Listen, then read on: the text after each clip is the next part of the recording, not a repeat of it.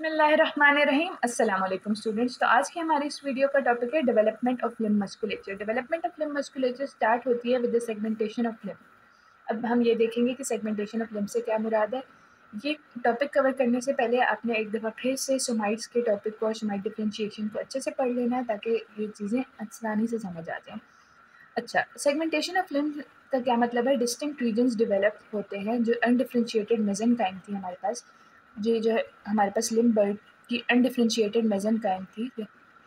ये distinct reason में divide हो जाएगी। डिस्टिंक्ट रीजन्स क्या होंगे? मसल फॉर्मिंग रीजन अलहदा हो जाएगा बोन फॉर्मिंग रीजन अलहदा हो जाएगा नर्व फॉर्मिंग रीजन अलहदा हो जाएगा और इसी तरह से और भी टिश्यूज़ के, यानी आर्टरीज वगैरह के रीजन्स अलहदा हो जाएँगे। मसल्स कहाँ से फॉर्म होते हैं? हमें पता है कि मसल्स फॉर्म होते हैं वेंट्रोलेटरल पार्ट ऑफ़ सोमाइट से। वेंट्रोलेटरल पार्ट ऑफ़ सोमाइट से फॉर्मेशन ऑफ़ मसल्स होती है। वेंट्रोलेटरल पार्ट फॉर्म करेगा muscle progenitor cells segmentation of limb को आपने कंफ्यूज नहीं करना with the segmentation of body या इसको सिंपली सेगमेंटेशन भी कहते हैं। ये जो सेगमेंटेशन ऑफ़ बॉडी है, ये है सोमाइटोजेनेसिस सोमाइटोजेनेसिस क्या है? सेगमेंटेशन ऑफ़ बॉडी सोमाइटोजेनेसिस को सेगमेंटेशन ऑफ़ बॉडी क्यों कहते हैं?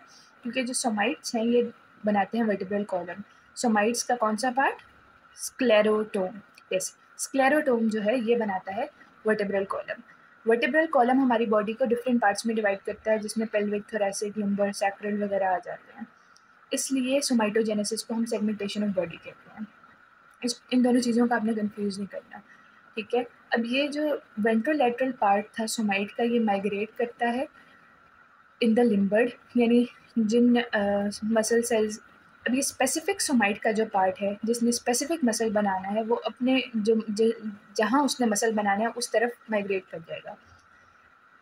जो स्पेसिफिक सोमाइट है, जिसने एक स्पेसिफिक मसल बनाना है, वो माइग्रेट करके उस मसल की लोकेशन पे चला जाएगा under the influence of specific genes वो उस जगह पे माइग्रेट कर जाएगा, जहाँ पे उसने मसल फॉर्मेशन करनी है, ठीक है?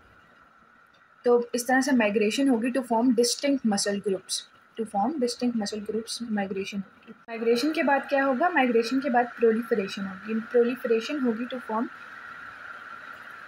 different muscle fibres proliferation and differentiation जो डिफ्रेंशिएशन है, इसका क्या मतलब है? कि मसल प्रोजेनेटिव सेल्स जो थे, वो मायोब्लास्ट बन जाएँगे. क्या बन जाएँगे? Myoblast muscle progenitive cells immature muscles बन मसल सेल्स बन जाएँगे. इस डिफ्रेंशिएशन से क्या होगा? स्पेसिफिक मसल टाइप्स बनेंगी। यहाँ पे हम, क्योंकि लिम मस्कुलेचर की डेवलपमेंट देख रहे थे बेसिकली हम स्केलेटल या स्टेरेटेड मसल्स को देखेंगे। जो मायोब्लास्ट था, वो approximately in fifth week of development mitotically divide करेगा। यानी उसकी हाइपरट्रॉफी इसको हाइपरट्रॉफी भी कहते हैं बाय द वे इसकी माइटोटिक डिवीज़न होंगी, जिसकी वजह से इसका नंबर इंक्रीज़ होगा। नंबर इंक्रीज़ होने के बाद क्या होगा? फ्यूजन होगी। इन, ये सेल्स आपस में फ्यूज़ कर जाएँगे। जब फ्यूज़ करेंगे तो क्या होगा? एक मल्टाई न्यूक्लिएटेड मसल फाइबर बन जाएगा। ये जो मल्टाई न्यूक्लिएटेड मसल फाइबर्स बनेंगे बहुत सारे, ये स्प्लिट करेंगे into flexor component and extensor components flexor component क्या होगा? जिन मसल फाइबर्स ने हमें फ्लेक्शन में मदद देनी है जॉइंट्स पे फ्लेक्शन में मदद देनी है, वो फ्लेक्सर कंपोनेंट बना देंगे और एक्सटेंशन में मदद देनी है वो एक्सटेंशन एक्सटेंसर कंपोनेंट्स बना देंगे। अब ये जो मसल फाइबर है, हम कहते हैं let's say it is derived from cervical somite ये सर्वाइकल सोमाइट से ड्राइव हुआ है। कोई और मसल फाइबर्स जो फॉर्म हुआ है, वो थोरेसिक से भी हो सकता ड्राइव हो सकता है, वो पेल्विक से भी हो सकता है, वो लंबर से भी हो सकता है, वो किसी भी जो है सोमाइट का मसल फाइबर हो सकता है।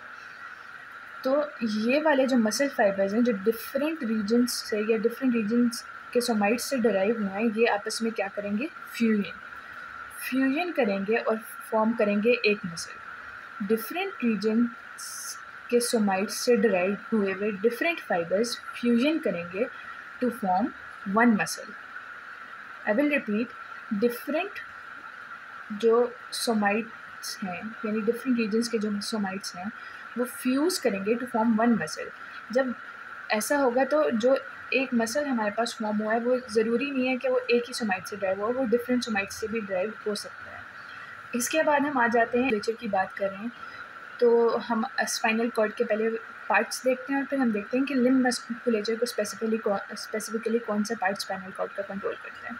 स्पाइनल कॉर्ड के दो पार्ट हैं, एक डॉर्सल प्राइमरी रेमस और एक वेंट्रल प्राइमरी रेमस जो डॉर्सल प्राइमरी रेमस है ये लिम मस्कुलेचर में काम नहीं आता, ये मसल्स ऑफ़ बैक को कंट्रोल करता है। Muscles of back of the body को कंट्रोल करता है dorsal primary ramus as the name shows dorsal primary ramus ये मसल्स ऑफ़ बैक को कंट्रोल करेगा, जबकि जो वेंट्रल प्राइमरी रेमस है, ये हमारे पास क्या है लिम्फ को सप्लाई करता है। लिम्स को सप्लाई करता है वेंट्रल प्राइमरी रेमस अब वेंट्रल प्राइमरी रेमस की आगे ब्रांचेज होंगी डॉर्सल ब्रांचेज और वेंट्रल ब्रांचेज इस चीज़ को आपने इस चीज़ के साथ कंफ्यूज नहीं करना। स्पाइनल कॉर्ड का डॉर्सल पोर्शन अलग चीज़ है और वेंट्रल प्राइमरी रेमस की डॉर्सल और वेंट्रल ब्रांचेज अलग चीज़ हैं। इसको हम किस तरह से समझेंगे कि वेंट्रल प्राइमरी रेमस की कुछ ब्रांचेज होंगी जो डॉर्सम को सपोर्ट करेंगी डॉर्सम ऑफ़ हैंड भी हो सकता है डॉर्सम ऑफ़ लेग भी हो सकता है। और प्राइमरी रेमस की वेंट्रल ब्रांच है, ये सप्लाई करेगी वेंट्रल पार्ट ऑफ़ लिम्ब को। ये वेंट्रल पार्ट ऑफ़ हैंड भी हो सकता है लेग भी हो सकता है फोर आर्म आर्म कुछ भी। ठीक है? इसको हम समझते हैं अपर लिम्ब की एक एग्जांपल की मदद से। जो रेडियल नर्व है, ये हम जानते हैं कि radial nerve radial nerve dorsum of hand में होती है और एक्सटेंसिव मसल एक्सटेंसिव मसल्स को सप्लाई करती है। तो जो ये रेडियल नर्व है, ये ड्राइव किससे होगी? Dorsal part of ventral primary ramus और जो अंदर नर्व है, ये सप्लाई करती है वेंट्रल साइड ऑफ़ आर्म को तो ये किससे डिवाइड होगी? Ventral part of ventral primary ramus the next thing is that spinal nerves form neuromuscular junctions which is a prerequisite for their complete functional differentiation इसका मतलब क्या है? कि न्यूरोमस्कुलर जंक्शंस फॉर्म करती हैं, ये नर्व्स जो हैं पेनिट्रेट करती हैं मसल्स में, जो कि ज़रूरी है मसल्स की कंप्लीट फंक्शनल डिफ्रेंशिएशन के लिए. So that's all I hope you find this video